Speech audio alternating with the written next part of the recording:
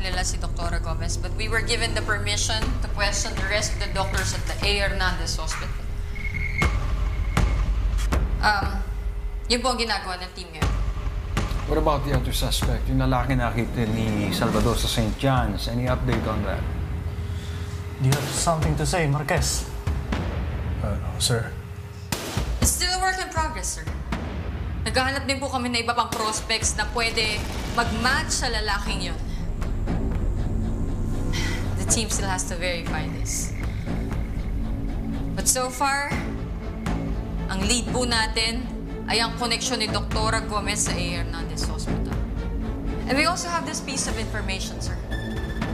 Well, sir, as you can see in this photo, sa lahat ng medical conference ay laging magkasama si Dr. Gomez at Dr. Araceli. Kaya for me, I don't think they're just acquaintances. But this is all still circumstantial, Agent Agoncillo. Yes, sir. And we will look further into this, sir. Kasama na rin ng iba pang mga naging suspects dati. Joaquin Dexter, aka Roger Acosta, Captain Galang, Juanito Galvez, Sergeant Paragas, aalamin natin lahat ang koneksyon nila kay Dr. Gomez.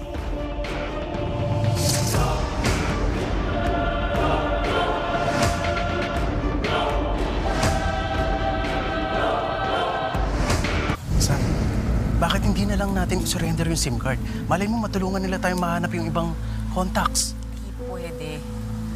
Sabit kami ni Eamon dyan. Nag-trespassing kami para makuha namin yun eh. Tsaka paano kung totoong tao ng sindikato yung dalawang yun? Sam, ipit tayo dito eh. Ang hirap kumilos ng laging patago. Limitado tayo. Tagal na tayong limitado. Huwag mag-alala. Meron tayong alas. Isa pa yan eh. Tinago niyo ba yung kagi sa isang suspect na meron tayo? Eh, bakit hindi niyo isurrender sa NIA? Sa tingin niyo ba tama yung ginawa niyong desisyon ni Emma? Surrender? Ikaw nga mismo nagsabi, ipit na tayo. Dahil may mga ahas sa loob na hindi natin mahuli-huli. Alala mo yung mga kidnapper si Sina. Patay na sila, pinatahimik.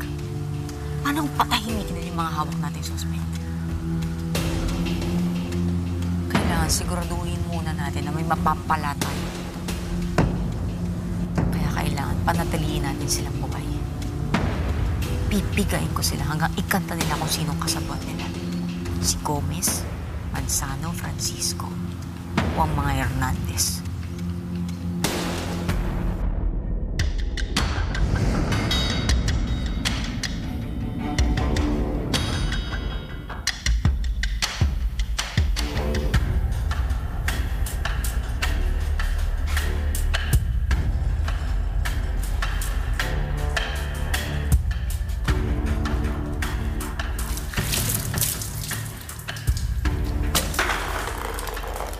Franco Vergara pala ang pangalan mo, ha?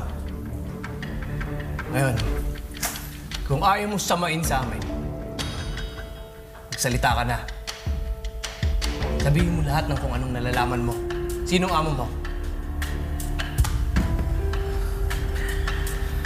Sinong nag-utos sa'yo magpapatay sa anak ko, ha? Ikaw ba? Ha?